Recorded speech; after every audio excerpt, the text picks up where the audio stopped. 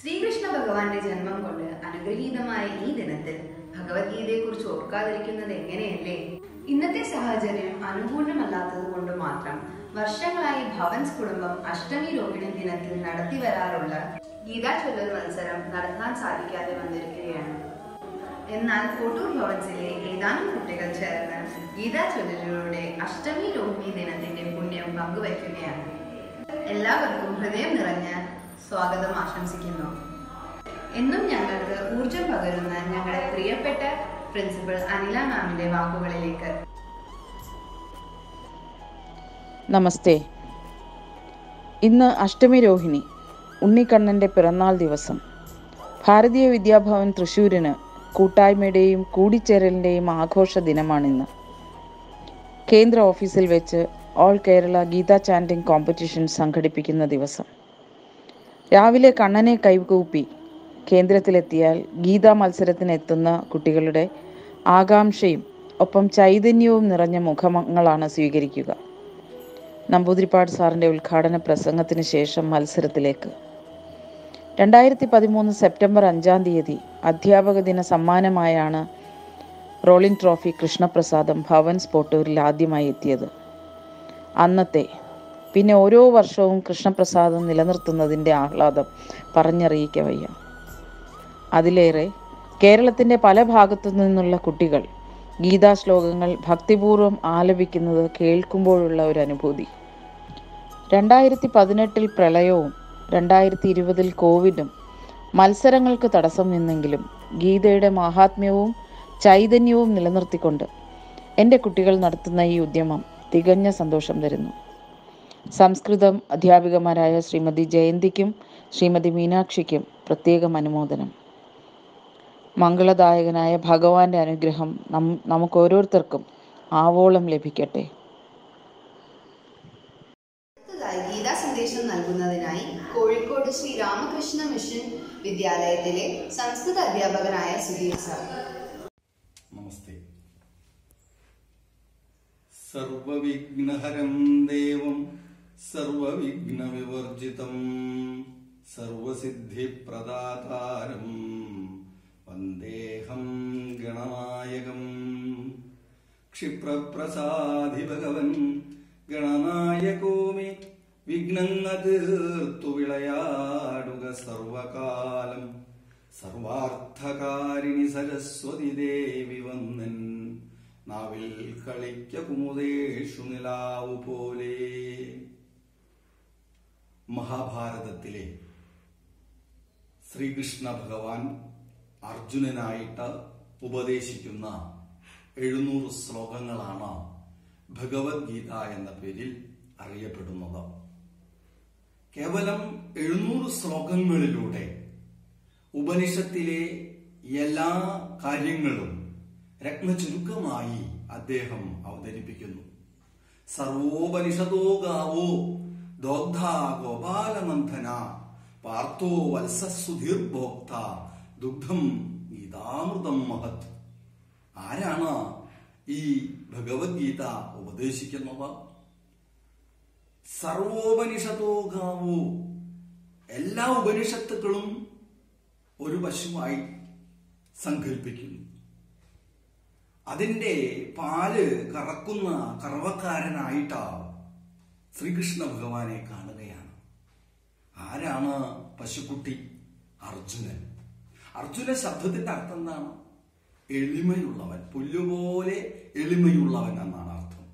ഭഗവാന്റെ മുന്നില പൂർണ ഭക്തിയോടുകൂടി ആരാണോ ഇരിക്കുന്നതോ അദ്ദേഹത്തെയാണ് ഭഗവാൻ ഏറ്റവും കൂടുതൽ ഇഷ്ടം. അനന്യാശ്ചിന്തയന്തോ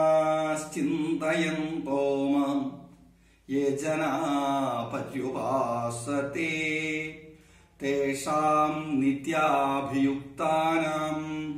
യോഗക്ഷേമം വഹാമ്യഹം. ഭഗവാൻ ഗീതയിൽ പറയണത് അതാണ്.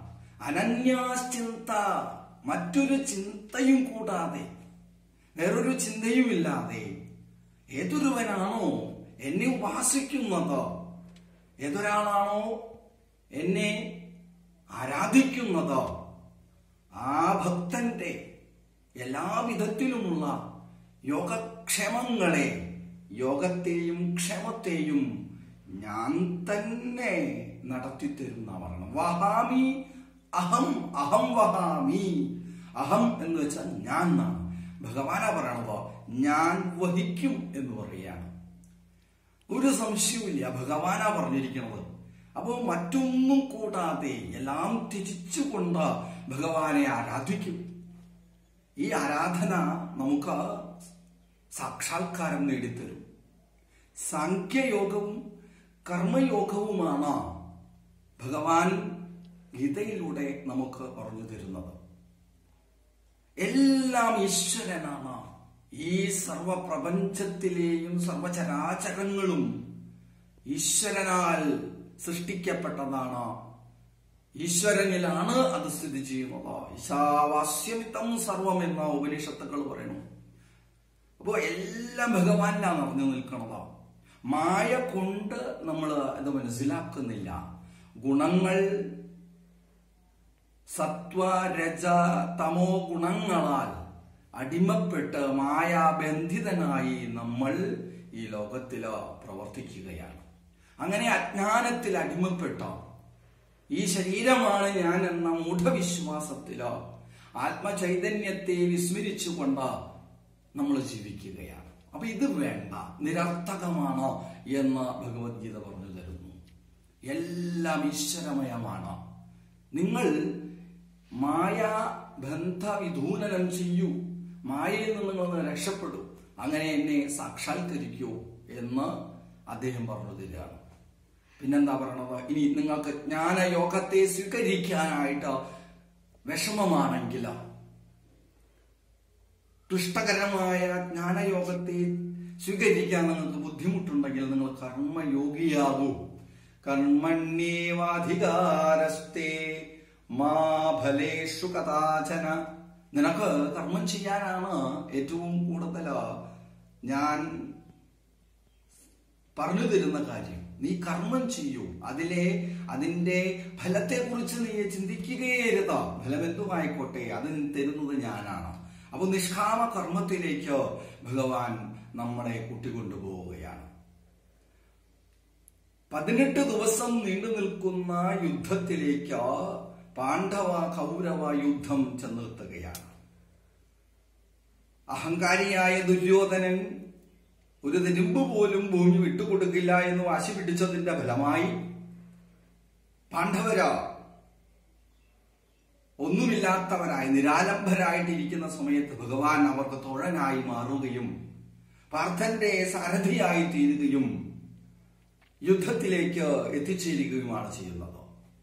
യുദ്ധം അനിവാര്യമാകുന്നു. എല്ലാം നഷ്ടപ്പെട്ടവർക്ക് എന്തെങ്കിലും നേടിയെടുക്കണമെന്ന ഒരു ബോധം അത് എന്ത- എന്തായാലും ഉണ്ടാവും. ധർമ്മത്തിന് ചുതിയുണ്ടായ ഒരവസ്ഥ.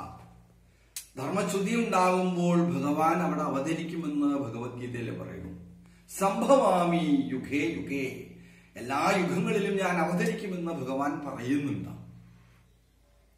എപ്പോഴാണ് ഭഗവാൻ അവതരിക്കുന്നത്? പരിത്രാണായ സാധൂനാം വിനാശായ ച ദുഷ്കൃതം സാധൂനാം പരിത്രാണായ സജ്ജനങ്ങളെ രക്ഷിക്കുന്നതിനും പിന്നെയോ ദുഷ്ടന്മാരെ ഇല്ലാതാക്കുന്നതിനും പരിത്രാണായ സാധൂനാം വിനാശായ ച ദുഷ്കൃതം ധർമ്മ സംസ്ഥാപനാർത്ഥായ സംഭവാമി യുഗേ യുഗേ. സംഭവാമി യുഗേ യുഗേ ഞാൻ അവതരിക്കുമെന്ന് ഭഗവാൻ. എന്താ അവതാരം എന്ന് പറഞ്ഞാൽ ഇറങ്ങി വരും. അപ്പൊ ഭഗവാൻ ഇവിടെ ഇറങ്ങി. ഒരു ശരീരം സ്വീകരിച്ച പൂർണഭ്രമമായ ഈശ്വരൻ ശരീരം ധരിച്ച ധർമ്മത്തെ സ്ഥാപിക്കാനായിട്ട് അവതരിച്ചു. അതാണ് ശ്രീകൃഷ്ണ ഭഗവാൻ. പൂർണാവതാരമാണ്. ദശാവതാരങ്ങളിലെ പൂർണാവതാരമായ ശ്രീകൃഷ്ണ ഭഗവാൻ. അധർമ്മത്തെ ഇല്ലാതാക്കാൻ അർജുനന് സാരഥിയായി തീർന്നു പാർത്ഥ സാരഥിയായി അപ്പൊ യുദ്ധത്തിന്റെ മുന്നിൽ എത്തുന്ന സമയത്താണ് ബന്ധുക്കളാണ് തന്റെ മുന്നിലെന്ന് അർജുനന് തോന്നുന്നത്. അധർമ്മികളാണ് എന്റെ മുന്നിലെന്നല്ല അദ്ദേഹത്തിന് തോന്നിയത്. അദ്ദേഹത്തിന് അപ്പൊ തോന്നുകയാണ്? എന്റെ മുന്നിലെ ബന്ധുക്കളാണല്ലോ എന്റെ ഗുരുക്കന്മാരാണല്ലോ. അദ്ദേഹം കരഞ്ഞുകൊണ്ട് ഭഗവാനോട് പറഞ്ഞു എനിക്ക് ഈ ബന്ധുക്കളെ ഒന്ന് എനിക്കൊരു ഒരു രാജ്യം വേണ്ട കൃഷ്ണ വാസുദേവ എന്നെ ഇതിൽ നിന്ന് രക്ഷിക്കൂ എന്ന് അദ്ദേഹം പറയാണ് അപ്പോ ഭഗവാൻ ചിരിച്ചുകൊണ്ട് പറയാണ് ക്ലൈഭ്യം ആസ്മഘമ പാർത്ഥ. അല്ലയോ പാർത്ഥ നിനക്ക് എവിടുന്ന ഈ ഒരു ഒരു വിഷാദഭാവം ഈ ഒരു ഒരു അലസഭാവം ഈ ധർമ്മത്തിൽ നിന്നും വ്യതിരിക്തമായ ഭാവം നിനക്ക് എവിടെ നിന്ന് കിട്ടി? തെക്തോത്തിഷ്ട പരന്തപ. അവിടെയാണ് ഭഗവാൻ അഭിപ്രേരക ശക്തിയായി വർത്തിക്കുന്നത്. അഭിപ്രേരക ശക്തിയായി അദ്ദേഹം മാറുകയാണ്. പരന്തപ മറ്റുള്ളവരിലെ മറ്റുള്ളവരെ മുഴുവൻ തപിപ്പിക്കുവാൻ ശക്തിയുള്ള അല്ലയോ അർജുന പാർത്ഥ നീ എന്തിനാണ് ഇങ്ങനെ വിഷമിക്കുന്നത്? ക്ലൈബ്യം ആസ്മ ഗമ പാർത്ഥ നീ ക്ലൈബ്യത്തിലേക്ക് എത്തരുത്. ഒരിക്കലും നീ ക്ലൈബ്യത്തിലേക്ക് എത്തിച്ചേരരുത്. നീ എഴുന്നേൽക്കൂ ധീരനാകൂ പരന്തപനാണ് നീയ നിനക്ക് അനിവാര്യമായ ധർമ്മസ്ഥാപനത്തെ നീ നടപ്പിലാക്കിയേ മതിയാവും. ഇതാണ് ഭഗവത്ഗീത നമ്മളോട് പറഞ്ഞു തരുന്ന ഉദ്ദേശം. ജീവിതമാകുന്ന യുദ്ധത്തില. പല പല പ്രശ്നങ്ങളും ഒന്ന് നേരിടുന്ന നേ- നേരിടുന്ന സമയത്ത് നമ്മൾ അവിടെ യുദ്ധോന്മുഖനായിട്ട് മാറണം. അവിടെ യുദ്ധം എന്ന് വെച്ചാൽ മറ്റുള്ളവരെ കൊല്ലുക എന്നുള്ള മാത്രമല്ല അർത്ഥം. അതിനെ തരണം ചെയ്യുവാനുള്ള ശക്തി നമ്മൾ നേടിയെടുക്കണം. ഭഗവത്ഗീത നമ്മുടെ മനസ്സിൽ ആത്മചൈതന്യത്തെ ഉണ്ടാക്കി തരുന്നു വളരെ ലളിതമായ പ്രഭാഷണമായ കാരണം ഭഗവത്ഗീതയുടെ സംക്ഷിപ്തമായ കുറച്ച് കാര്യങ്ങൾ മാത്രമേ പറയുന്നുള്ളൂ. എല്ലാവരും ഭഗവത്ഗീത വായിക്കണം. എല്ലാവരും ഭഗവത്ഗീത സ്വന്തം വീട്ടിൽ വായിച്ച് മതിയാവൂ. ഗീത പഠിക്കുന്ന നാട്ടിലെല്ലാം ഗീത പഠിക്കുന്ന വീട്ടിലെല്ലാം ശ്രീദേവി വന്നു വിളങ്ങി കാണും എല്ലാ വീട്ടിലും ഭഗവത്ഗീത പഠിക്കുകയാണെങ്കിൽ അവിടെ ലക്ഷ്മി ദേവി എന്തായാലും ഒന്ന് ചേരുമെന്ന് ഉറപ്പാണ്. കാരണം ലക്ഷ്മിയുടെ ആവാസ കേന്ദ്രമാണ് ഭഗവാന്റെ സ്ഥലം. എവിടെ വിഷ്ണുണ്ടോ അവിടെ ഭഗവതി ഉണ്ടാ അവിടെ ഭഗ ആ സാക്ഷാൽ ലക്ഷ്മി ദേവി അവിടെ ഉണ്ടായിരിക്കും. അപ്പൊ ഭഗവത്ഗീതയിൽ ഭക്തിയോഗത്തെ കുറിച്ച് അടിവരയിട്ട് നമുക്ക് പറയാം. ഭഗവാനാണ് എല്ലാം എന്ന് അദ്ദേഹം ഉറപ്പിച്ചു പറഞ്ഞു തരുന്നത് ഭഗവത്ഗീതയിലൂടെയാണ്. ഈ സർവത്വം ഈശ്വരനാണെന്ന് അദ്ദേഹം അടിവരയിട്ട് പറഞ്ഞു തരികയാണ്. അദ്ദേഹം പറയുന്നു സർവധർമാൻ പരിത്യജ്യ മാമേകം ശരണം വ്രജ അഹം ത്വാം സർവപാപേഭ്യോ മോക്ഷയിക്ഷ്യാമി മാശുച. സർവധർമ്മങ്ങളെയും നീ പരിത്യജിച്ചുകൊണ്ട് എല്ലാം മറന്നുകൊണ്ട് എന്നിലേക്ക് വന്നു ചേരൂ. എന്റെ ആയിത്തീരൂ എന്നിലേക്ക് വന്നു ചേരൂ. ഞാൻ നിന്നെ രക്ഷിച്ചു കൊള്ളാം മാ ശുജ ദുഃഖിക്കരുത്. ദുഃഖിതനാകരുത് നീയാ മയ്യേവ മനാദസ്വ മയി മയി ബുദ്ധിം നിവേശയ പറയണം മയ്യേവ നീ എന്നിലേക്ക് വന്ന് എന്നെ എന്നിൽ ബുദ്ധി അർപ്പിക്കൂ. ഞാൻ നിന്നെ രക്ഷിച്ചു കൊള്ളാം എന്നിങ്ങനെയുള്ള പരമമായ അപ്തവാക്യങ്ങളോ ഭഗവത്ഗീതയിൽ നമുക്ക് കാണാനായിട്ട് സാധിക്കും. ഈശ്വര സാക്ഷാത്കാരം നേടുന്നതിന് ഇത്രയും ഉപകാരപ്രദമായിട്ടുള്ള മറ്റൊരു ഗ്രന്ഥമില്ല. കുട്ടികൾക്കാകട്ടെ യുവാക്കൾക്കാകട്ടെ യുവതികൾക്കാകട്ടെ മധ്യവയസ്കർക്കാകട്ടെ വൃദ്ധാവസ്ഥയിലെത്തിയവർക്കാകട്ടെ സന്യാസിമാർക്കാകട്ടെ ഉദ്യോഗസ്ഥർക്കാകട്ടെ ഈ ചെറിയ പണികൾ ചെയ്യുന്ന കർമ്മികൾക്കാകട്ടെ ഭഗവത്ഗീത ഒരു ആയുധമായി തീരും ഭഗവത്ഗീത ഉണ്ടെങ്കിലോ മുന്നോട്ട് പോകാനായിട്ട് സാധിക്കും. വർണാശ്രമധർമ്മങ്ങളൊക്കെ നമുക്ക് ഇതിൽ നോക്കേണ്ട ആവശ്യമില്ല. എല്ലാ വർണങ്ങളും എല്ലാ ധർമ്മങ്ങളും ഒന്ന് തന്നെയാണോ എന്ന് ഭഗവാൻ പറഞ്ഞു തരുന്നുണ്ടോ? നൂലിൽ കോർത്ത മണി പോലെയാണോ നമ്മൾ നമ്മളെല്ലാവരും ഒന്നാണെന്ന സത്യസങ്കല്പം. ഭഗവത്ഗീതയിലൂടെ നമുക്ക് മനസ്സിലാക്കാനായിട്ട് സാധിക്കും. അപ്പോൾ എല്ലാവർക്കും ഉപകാരപ്രദമായിട്ടുള്ള ഭഗവത്ഗീത എല്ലാവരും വീട്ടിൽ ചെല്ലുകയും നാട്ടിൽ പ്രചരിപ്പിക്കുകയും ചെയ്യണം. മഹാത്മാഗാന്ധിയുടെ ഒരു ഒരു കാര്യം പറഞ്ഞുകൊണ്ട് ഞാൻ ഈ പ്രഭാഷണം അവസാനിപ്പിക്കാം.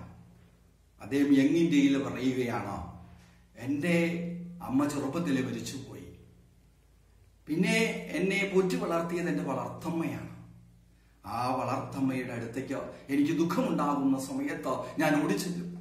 അമ്മ എന്നെ മടിയിൽ കിടത്തും. എന്നത് ആലോചിക്കും. വത്സ വാത്സല്യത്തോടെ എന്നെ എന്നെ ഓരോ ഉപദേശങ്ങൾ തരും എനിക്ക്. ആ അമ്മയുടെ പരിലാളനങ്ങളെ ഏറ്റുകൊണ്ടാണ് ഞാൻ വളർന്നു വലുതായത്.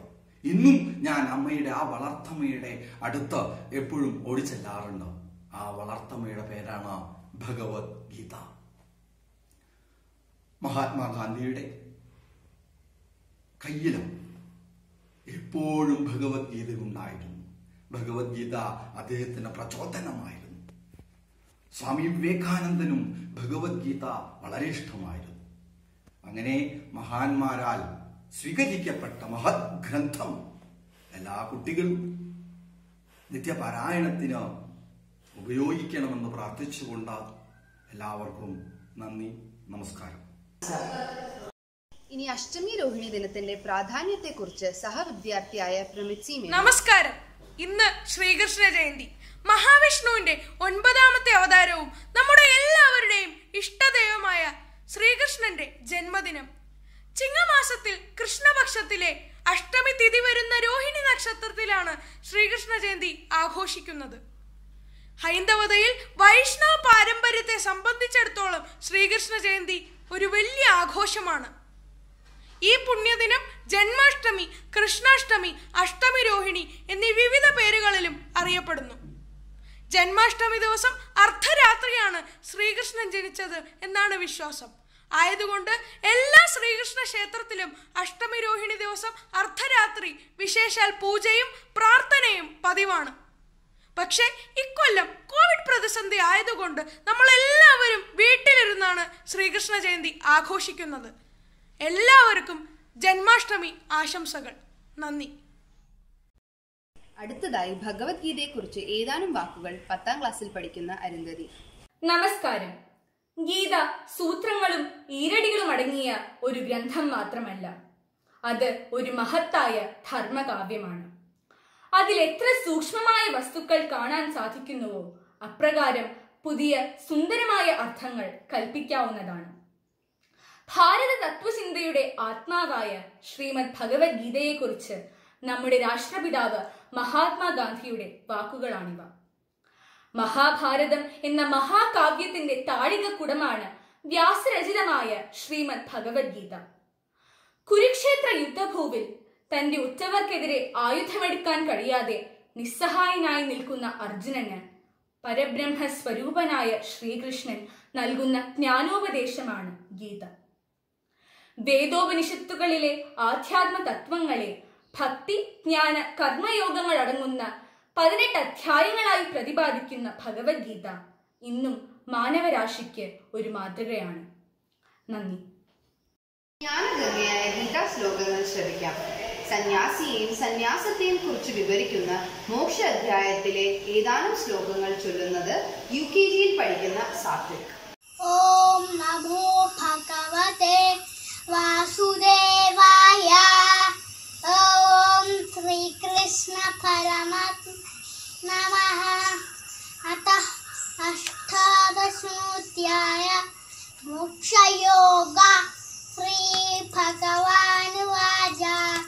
काम्यानां धर्मणां न्यासं। सन्न्यासं खवयो विदुः। सर्वकर्मफलत्यागम्। ആകുസ്ത്യാഗം വിദക്ഷണ ത്യാജ്യം ദോഷാദിത്യേകേ കർമ്മപ്രാഹുർമനേഷിണ യജ്ഞതാനഥ ഭക്കർമ്മ യാജം നിരിജാപരേ നിശ്ചയം ശൃണുമേ തത്ര ത്യാഗേ ബലത സത്തമ ത്യാഹോ ഹി പുരുഷ വ്യഗ്രൻ ത്രിവിധ സംപ്രകീർത്തിത യജ്ഞതാനഹ ബക്കർമ്മ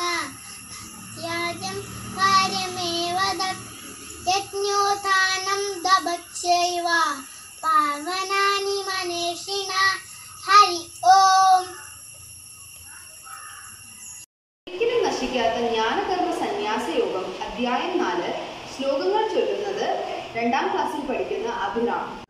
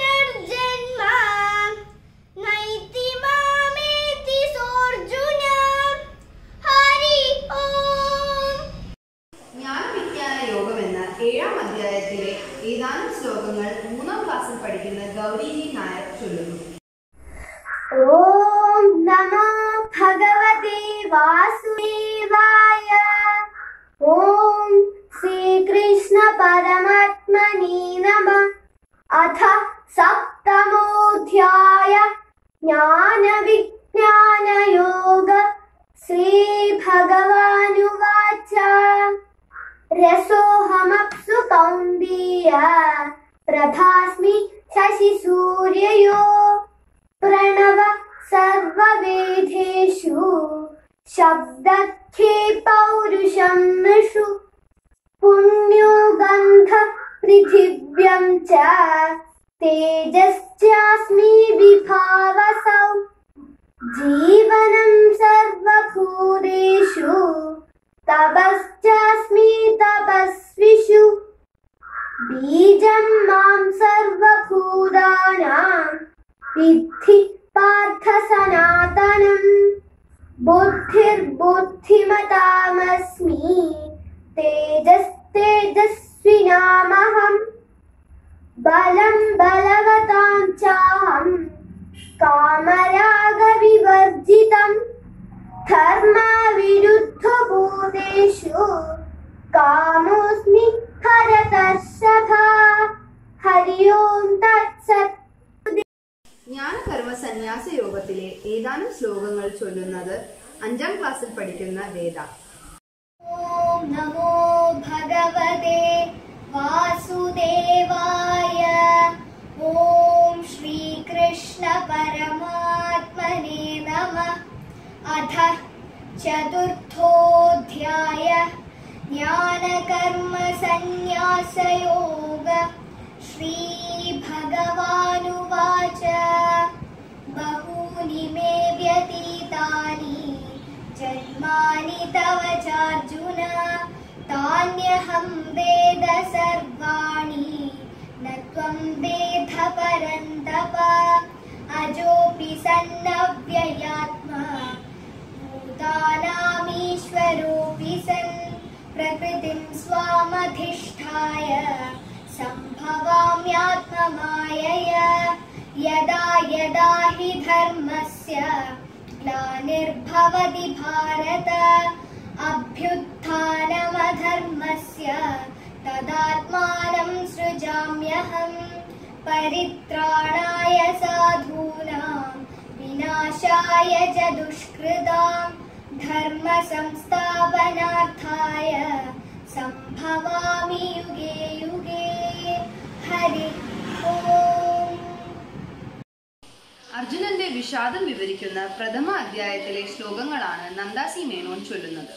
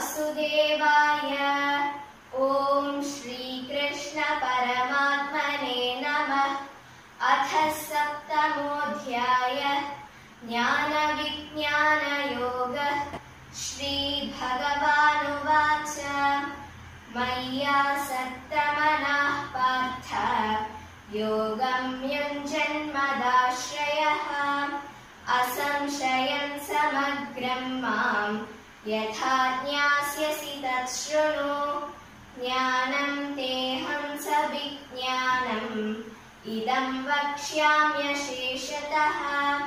यज्ञात्वा नेह भूयो ज्ञातव्यमवशिष्यते। मनुष्याणाम् सहस्रेषु कश्चिद्यदति सिद्धये। यततामपि സിദ്ധാനാം कश्चिन्मां वेति തത്വതഃ भूमिरापो नलो वायु। खं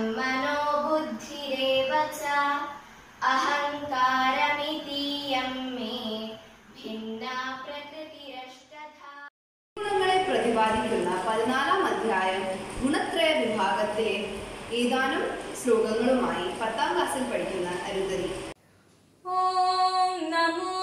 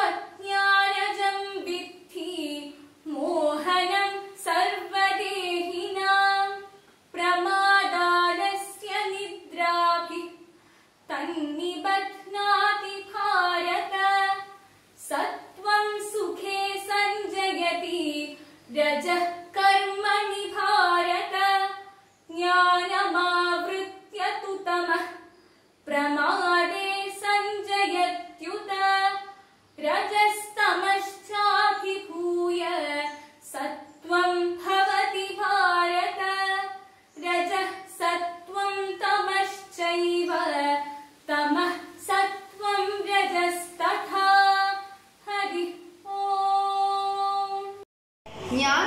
സന്യാസ യോഗത്തിൽ നിന്ന് ഏതാനും ശ്ലോകങ്ങൾ ചൊല്ലുന്നത് പത്താം ക്ലാസ്സിൽ പഠിക്കുന്ന പ്രമിത് സീനേനോ ചതുർത്ഥോധ്യായ ജ്ഞാനകർമ്മ സന്യാസ യോഗ ശ്രീ ഭഗവാനുവാച ഇമം വിവസ്വതേ യോഗം പ്രോക്തവാനഹമവ്യയം വിവസ്വാൻ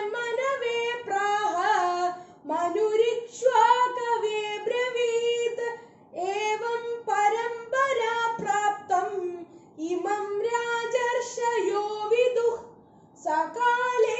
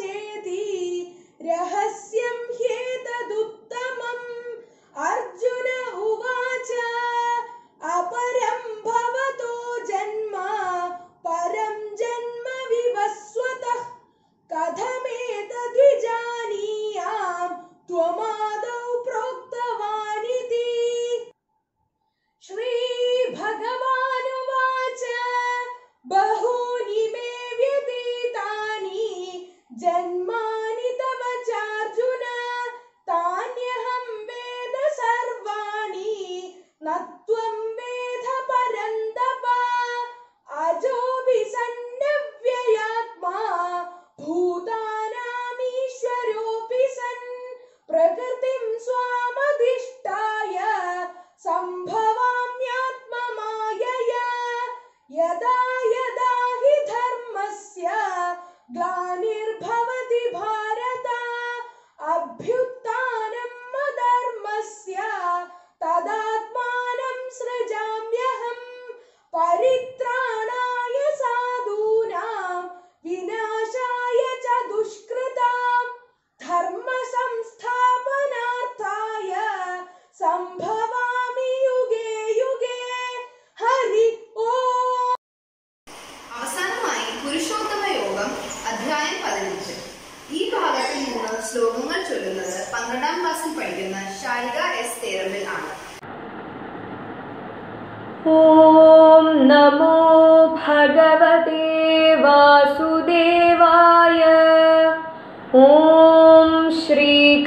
श्रीकृष्णपरमात्मने नमः। अथ पञ्चदशोऽध्यायः पुरुषोत्तमयोगः। श्रीभगवानुवाच। ऊर्ध्वमूलमधः शाखम् अश्वत्थं प्राहुरव्ययम्। छन्दांसि यस्य पर्णानि यस्तं वेद स वेदवित्। अधश्चोर्ध्वं प्रसृतास्तस्य शाखा गुणप्रवृद्धा विषयप्रवालाः। अधश्च मूलान्यनुसन्दतानि कर्मानुबन्धीनि मनुष्यलोके न रूपमस्येह तथोपलभ्यते। नान्तो न चादिर्न च सम्प्रतिष्ठा। अश्वत्थमेनं सुविरूढमूलम् असङ्गशस्त्रेण दृढेन छित्त्वा ततः पदं तत्परिमार्गितव्यं यस्मिन् गता न निवर्तन्ति भूयः तमेव चाद्यं पुरुषं प्रपद्ये यतः प्रवृत्तिः प्रसृता पुराणी। निर्मानमोहा जितसङ्गदोषा अध्यात्मनित्या विनिवृत्तकामाः द्वन्द्वैर्विमुक्ताः सुखदुःखसंज्ञैर्गच्छन्त्यमूढाः पदमव्ययं तत् हरिः ഓം. കണ്ടും കേട്ടും ആസ്വദിച്ച എല്ലാവർക്കും നന്ദി. Sudheer sir principal ma'am vice principal ma'am Rinu teacher എന്നിവരോടുള്ള നന്ദി ഈ അവസരത്തിൽ അറിയിക്കുന്നു. ഈ വീഡിയോ ചെയ്യാൻ ഞങ്ങളെ സഹായിച്ച വിജി ടീച്ചറോടും സുമ ടീച്ചറോടും മറ്റ് അധ്യാപകരോടും ഞങ്ങളുടെ നന്ദി അറിയിക്കുന്നു.